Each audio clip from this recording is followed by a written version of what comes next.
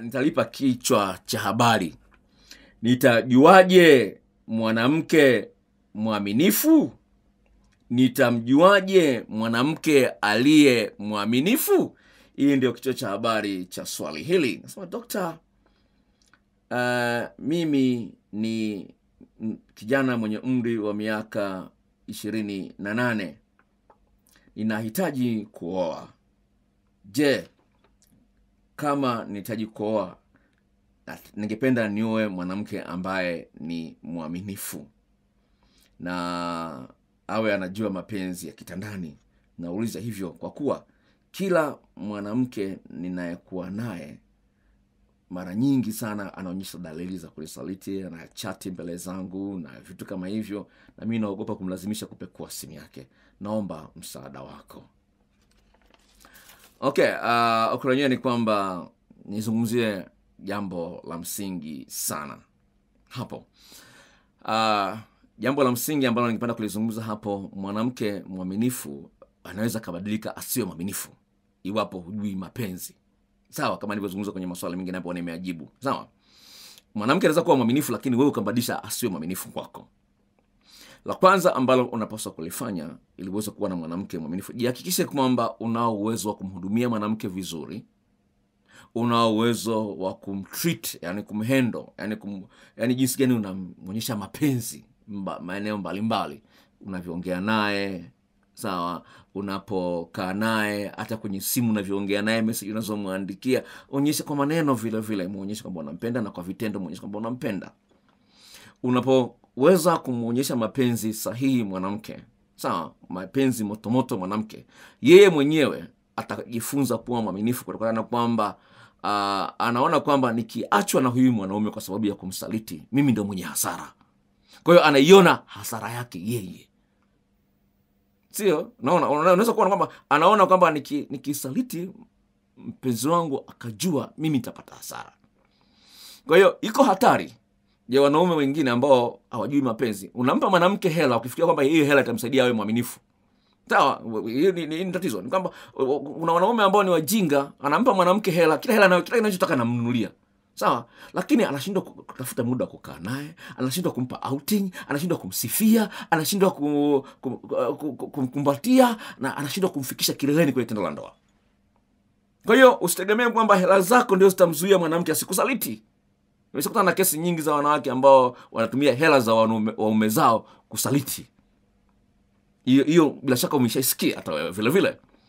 Kwa hiyo ili uweze kupata mwanamke mwaminifu la kwanza jitahidi kuwa ni mtu mwenye mapenzi sahihi. Jua kanuni za mapenzi nafuatilia uh, uh, mambo ambayo unaona kwamba ni ya muhimu kwa mpenzi wako na uyafanye bila kuambiwa. Asilimia kubwa ya wanaume tunasubiri kuambiwa. No haipendezi. Jiongeze fanya kitu bila kuambiwa hilo ni jambo la msingi sana sana kama unataka kuwa mwanamke mwaminifu. Lakini lingine ambalo lipo lazima yawepo mazingira ya usawa. Sawa? Lazima yawepo mazingira ya usawa ambayo mwanamke ajione ana uhuru wa kukuhoji wewe. Sio akikuhoji wewe unakuwa mkali. Ukijiona kwamba uko katika eneo hilo ambao upendi mwanamke akuhojihoji akuulizulize maswali basi tambua itakuwa vigumu wewe kupata mwanamke mwaminifu. Kwa sababu hata ukipata ambaye ni mwaminifu atakuja atakusaliti pia ingine weka mazingira yale ya uwazi na ukweli. Mruhusu mke wako apekue simu yako. Kwa sababu unapomzuia kushika simu yako yeye anaamini unamsali, unamsaliti. Na kama unamsaliti yeye atalipiza kisasi. Kwa hiyo haijalishi. Sawa ukiwa na mazoea na mpenzi wako wa zamani simu yako umeweka password unachelewa kurudi nyumbani au mara nyingine upokee simu kwa wakati yeye ataamini sasa siwezi kushika simu yake. Nitapata wapi ushahidi kwamba nisaliti au nisaliti? Kwa naye anaanza kukusaliti. Kwa hiyo kwamba ni njia nzuri. Lakini lingine ambalo ni, ni, ni, ni, la msingi nipenda kuliongezea vile vile jitahidi kupata mwanamke ambaye ni mcha mungu inasaidia sana. Sawa mimi nimeweza kuwa mwaminifu kwa mke wangu kwa sababu namwogopa mungu. Sawa nazungumza hilo jambo la na liko ndani ya moyo wangu. Kwa hiyo ili uweze uh, kuwa na mwanamke ambaye ni, ni, ni mwaminifu vile vile awe ni mtu ambaye anamcha mungu. Kuna watu ambao ni walokole lakini ni wazinzi. Inapenda nilizungumza hilo kwa sababu nawafahamu kuna watu hatu sio wachungaji wala sio wakristo wa kawaida. Utamwona kweli akosa kanisani atafunga hata na kufunga hata wiki nzima hali chakula lakini ni ana roho ya ajabu sana. Kwa hiyo usitegemee kwa sababu anasali kwenye kanisa la kilokole ukafikiri kwamba yeye ndio, ndio ni mcha mungu. No. Angalia nyendo zake. Nakutana na kesi nyingi za wanawake ambao wanasema kwamba tafuta mwanaume ambaye ni mcha mungu. Lakini ukimuuliza yeye mwenyewe unajua nini maana kuwa mcha mungu? Unajua hajua anashindwa kutoa maelezo ya kutosha. Kwa hilo ni jambo la msingi sana ambao unapaswa ulifanyie kazi kurekebisha. Okay. Niingie kwenye swali lingine ambalo nimelipa kichwa cha habari eh, eh, mpenzi wa zamani amponza. Mpenzi wa zamani amponza. Dokta mimi ni binti mwenye umri ya miaka 26 nina mpenzi nimezaa naye na na nimezaa naye mtoto mmoja sasa hivi ana miaka miwili. Sasa hivi kaniacha kwa kuwa amesikia kwamba nilishawahi kuwa na mahusiano na mfanyakazi mwenzie kabla sijawa naye. Yaani hata mtoto hamtaki. Unaweza kuweza kuona jinsi gani hali hii inaweza kuleta shida. Ni kwamba huyu, huyu dada ana umri miaka ishiri na sita. Ana mpenzi ambaye ameanzisha mahusiano naye wamezaa mtoto mtoto ana miaka miwili. Sasa katika maongezi maongezi akakutana na stori kwamba fulani ambaye wako ofisi naye moja alishakuwa na mahusiano ya kimapenzi na huyu mpenzi wake ambaye ni mke mtarajiwa. Akaamua kumwacha na mtoto pia akamwacha unaweza kuona jinsi gani hali hii ni ngumu sana. Niliongea naye huyu dada kwenye simu. Niliongea naye uh, nikaongea nikampa pole. Lakini ukweli ni kwamba mwanaume huyo hana akili. Hajaiona thamani ya huyu mwanamke na ni mwanaume ambaye anapenda sana kusifiwa na watu. Hajalishi mke wako alitembea na nani. Kama unampenda ili mradi hajatembea na baba yake mzazi hakuna sababu ya wewe. Kwa sababu huyu mwanamke umekuta sio bikra. Sawa usichana wake umeshatolewa kama alikuwa na mpenzi wa zamani cha msingi ni kudhibiti asiwe na mawasiliano na mpenzi wa zamani. Sasa napenda kuambia wanawake ambao wanakutana na kesi kama hizi sawa? Unapoona mwanaume anakutesa au anakuacha kwa sababu ya mpenzi wa zamani kutokana na historia yako ya zamani sawa? Tambua huyu mwanaume hana mapenzi ya kweli. Najua inauma kwa sababu unampenda najua inauma kwa sababu bado unamhitaji lakini ni mwanaume ambaye hana mapenzi ya kweli kwa hiyo hata kama ungeendelea naye uko mbele ungeumia. Tu nikupe mfano wa kweli ambao kwanza nimeshautoa kwenye video moja ya, ya hatari ya, ya, ya idadi ya wapenzi wa zamani kwenye kwenye channel yangu ya youtube. Nimetoa nikupe story moja kutoka kigoma. Kaka mmoja alinipigia simu. Akasema dokta oa mke wangu no, si ni mchumba au vipi? Sikumbuki ni story ya muda mrefu kidogo. Akasema nilimuuliza umeshawahi kuwa na wapenzi wangapi? Yule dada akamwambia nishakuwa na kuwa na wapenzi wanne Sasa lakini huyu dada huyu kaka akuamini kwamba kule kwa na wapenzi wanne tu una uzuri wake wote huu. Unaona akuamini. Basi wakaendelea na uhusiano, wakaendelea na uhusiano, ikafikia mahali bado likawa namsumbua. Sawa? Ndio hapo nakwambia kutokana na mada ambayo tulikuwa nayo leo, uh, huzuni inavyobomoa mahusiano. Ukiwa na jambo moyoni lolote lile, sawa hata kama la kijinga, lakini umeliamini kwamba ni baya, itabomoa uhusiano wako. Naomba unisikilize mfano wote kuchekesha kidogo, lakini kama umesikiliza mada nzima, kama kusikiliza mada iki kipindi nitakiweka kwenye YouTube. Tembelea chanel yangu inaitwa ina- ina- inabeba kwa jina la Paul Mwaipopo. Kipindi hiki nitakiweka kwenye YouTube chote. Kwa hiyo utafuatilia. Yaani, Ni hivi. Huyu kaka aka- aka- aka- kwa sababu ile jambo alikuwa nalo, sawa, alikuwa nalo moyoni, sawa, akaanza kuwa na anakosa raha. Mi siamini dada mzuri namna kweli, yani katika historia yake ana umri wake huwa ametembea na wanaume wanne tu, basi akatafuta ujanja akapata story. Akaenda akamwambia yule mke wake sawa sio mpenzi wake sikumbuki ni muda mrefu kidogo. Akamwambia nimeenda kwa mganga. Nataka nikufungulie biashara kubwa sana.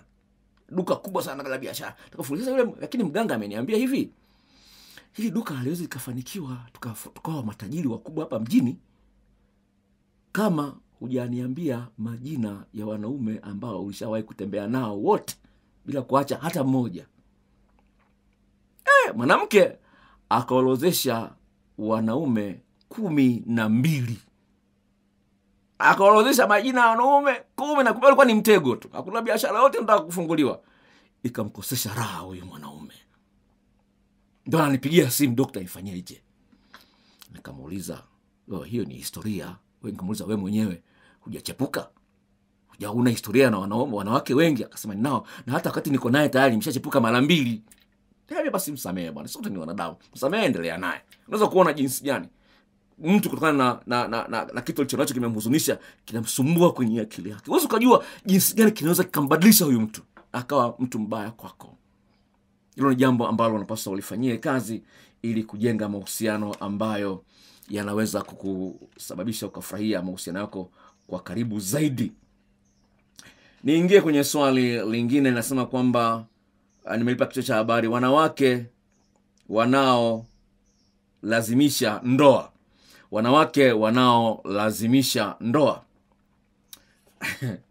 Dokta mi ni kijana mwenye umri wa miaka thelathini ni mwanaume nahitaji mwanamke lakini nashindwa kudumu na msichana kwa kuwa wanalazimisha nifunge nao ndoa kabla sijaridhika na uchunguzi wangu wa tabia. Dokta naomba msaada wako.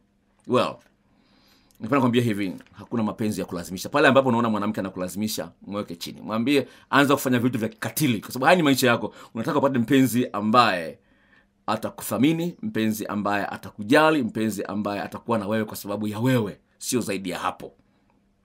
Ndugu msikilizaji hilo litakuwa ni swali la mwisho na ningependa ni wape namba zangu za simu kwa ambao wamefungulia redio hivi karibuni nitoe namba zangu za simu. Kwa hiyo kama una simu yako kama namba yangu ilikuwa huna naomba itoe simu yako naanza kuiandaa eneo la kusave namba. Mimi niko mwanza naitwa dr paul nelson niko mwanza jengo la nyanza barabara ya kenyatta. Jengo la nyanza liko jirani kabisa na jengo la new mwanza hoteli na tuko nyuma ya jengo la benki kuu ya tanzania. Kwa hiyo kama utaka kunitembelea ofisi yangu inakuwa wazi kuanzia saa mbili hadi saa kumi na nusu jioni na ukija ofisini kwangu kwa ushauri kuna gharama na ushauri vivile kwa njia ya simu vile kuna gharama. Kwa hiyo nikitoka hapa tena mimi sio redio tena. Namba zangu za simu ni hizi zifuatazo. Siseve kama dokta wa radio free africa itakusaidia kumbuka namba hii ni ya nani. Sisave kama dokta wa radio free africa au dokta wa usiku wa mahaba au unaweza kusema kwa, kwa save dokta wa ushauri wa redio. Inaweza kusaidia kumbuka namba hii ni ya nani. Namba ni hii ifuatayo. Sifuri saba tano nne sifuri tatu tisa tisa tisa nne. Nitarudia. sifuri saba tano nne. sifuri tatu tisini na tisa tisini na nne. Narudia mara ya mwisho. sifuri saba tano nne. sifuri tatu tisa tisa tisa nne na kwa wale ambao wanaweza kutembelea kwenye internet na mtandao na, na, na blog ambayo of course inaenda kwa jina la mfalme wa mapenzi. Usiachanishe maneno andika mfalme wa mapenzi blogspot.com mfalme wa mapenzi blogspot.com na ukitaka kuniandia, kuniandikia barua pepe andika kimapenzi at yahoo.com kimapenzi at yahoo.com mungu ibariki radio free africa. Asante msikilizaji kuchagua redio hii. Nikutakie usiku mwema. Kama unakisikiliza kipindi hiki kwa mara ya kwanza kipindi hiki kinarushwa siku ya jumatatu na kurudiwa siku ya jumatano. Kwa hiyo kama unasikiliza kipindi hiki siku ya jumatano tambua kwamba ni marudio ya kipindi ambacho kilianza kurushwa siku ya jumatatu. Nikutakie usiku mwema ndugu zangu. Mungu awabariki na endelea kuisikiliza radio free africa. Kwa herini